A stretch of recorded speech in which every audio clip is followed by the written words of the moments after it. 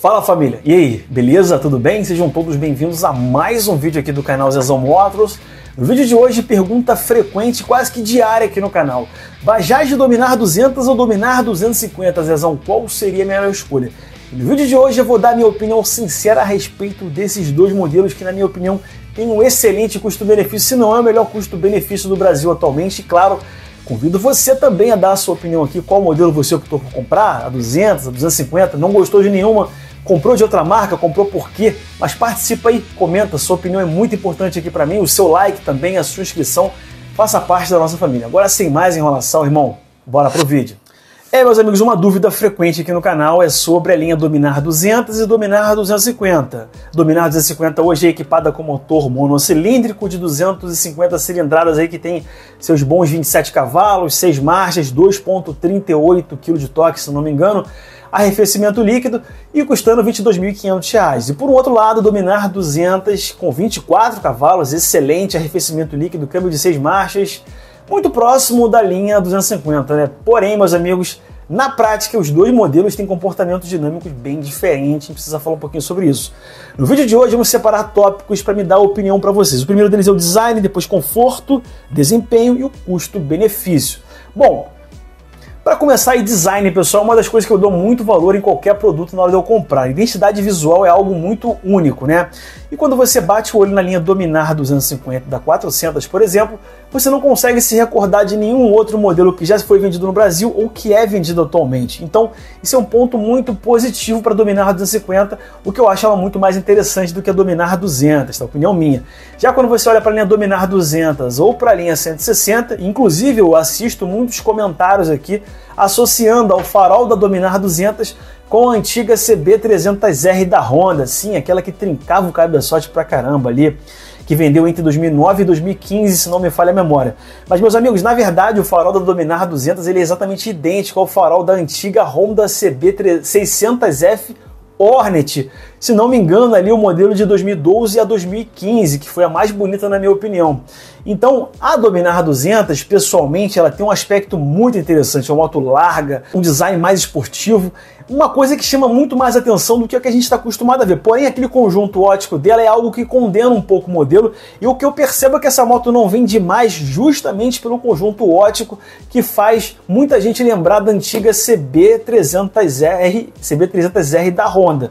Sendo assim, em termos de design, cara, apesar do Dominar 200 ser bacaninha, a Dominar 250 continua sendo imbatível para mim.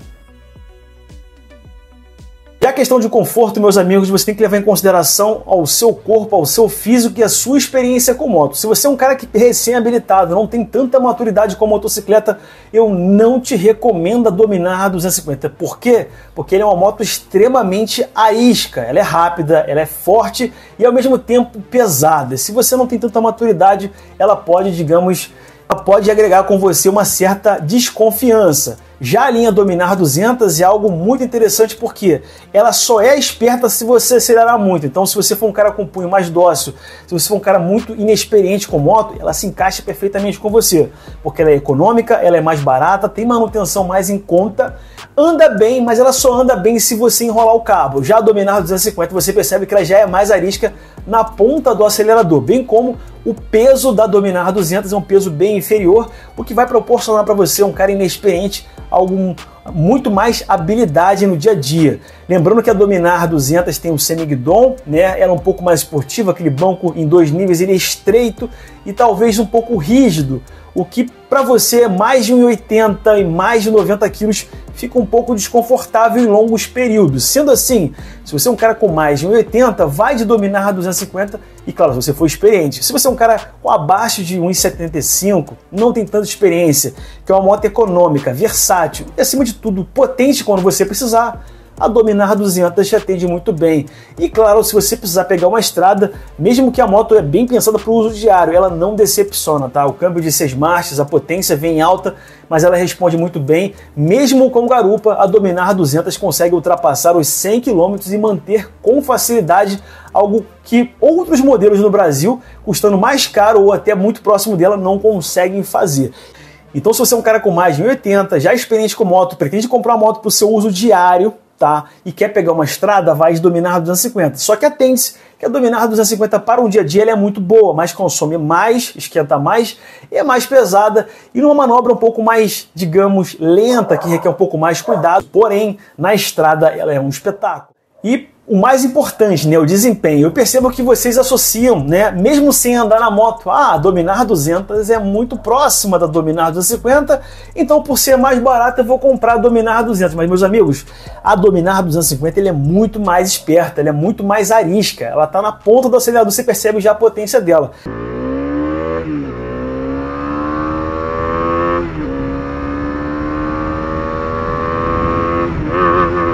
A Dominar 200 ela precisa estar com o cabo bem mais enrolado, afinal os 24 cavalos da Dominar 200 só vêm a 9.750 RPM, ou seja, o motor tem que estar super cheio para você perceber.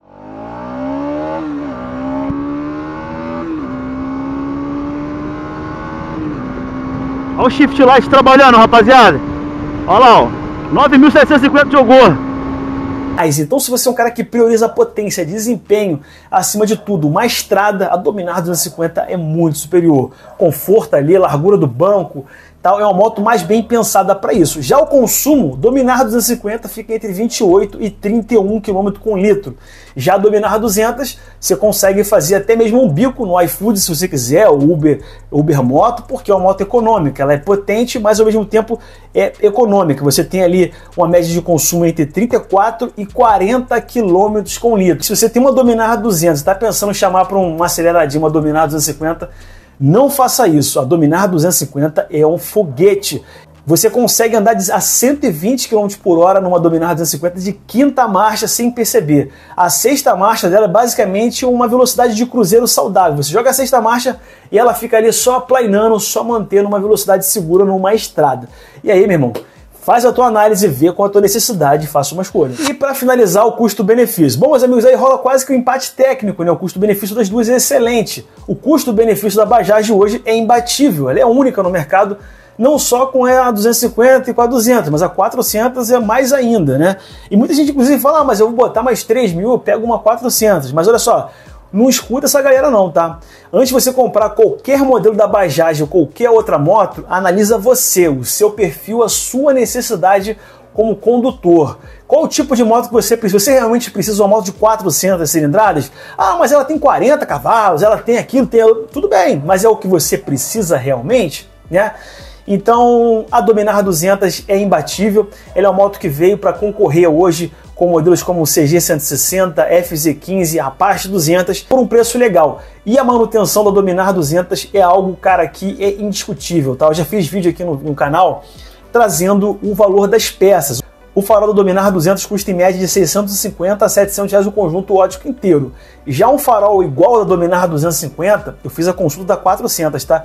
Custava em média de 2.500 a 2.700 reais. Então, se você pensa no custo de manutenção e reparo, é claro, a manutenção da 250 custa mais caro. Já o, o kit de transmissão, na época eu levantei o valor do kit de transmissão, na época, não sei se está esse mesmo valor ainda.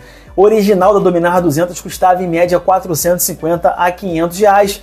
Acredito que o da linha 250 pode ultrapassar facilmente os 600. Aí você coloca na ponta do lápis e vê o que, que realmente é a sua necessidade. Uma moto para o dia a dia, rápida, econômica, versátil, dominar 200. Uma moto para o dia a dia, um pouco mais pesada, com muito mais potência, que tem a manutenção mais alta, mas que te atende muito melhor numa estrada, dominar 250. Aí você faz suas contas, irmão, e analisa com carinho e não vai nessa. Ah, mas a 400, cara, pensa naquilo que realmente você precisa para você não se arrepender. O que mais tem hoje no mercado é dominar 400 sendo vendidas semi-novas, justamente por isso. O cara, ah, eu vou comprar uma 400 porque ela é mais barata, mas quando ele pega a moto, percebe que ela é pesada, ela esquenta, o consumo dela é alto, afinal, é uma moto de 400 cilindradas. Bom, eu espero ter ajudado vocês, meus amigos, com essas informações. Convido você mais uma vez Dá a sua opinião aí qual modelo você comprou. Comprou uma FZ25, FZ15, CB Twister. Eu quero ouvir a tua opinião, mas ó, diz por que, que você comprou. E claro, eu quero perguntar para vocês, vocês têm interesse de ver aqui no canal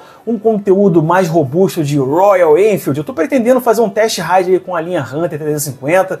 Queria colocar ela naquela serra esperta lá, naquela rua esburacada, aquele teste rádio bonitão e completo que eu sei que vocês adoram, mas eu não sei se vocês curtem assistir Royal Enfield aqui no canal. E se for do interesse de vocês, eu sim pretendo trazer um conteúdo mais robusto com a linha Royal, principalmente ali com aquela moto que eu acho linda, a Super Meteor 650. Bom, meus amigos, eu vou ficando por aqui.